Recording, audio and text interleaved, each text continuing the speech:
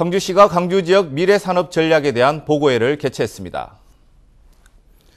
광주시는 15일 기반 산업 고도화와 기존 산업 고부화 가치화 등 총 7개 산업을 바탕으로 진행하는 미래 산업 전략 보고회를 진행했습니다.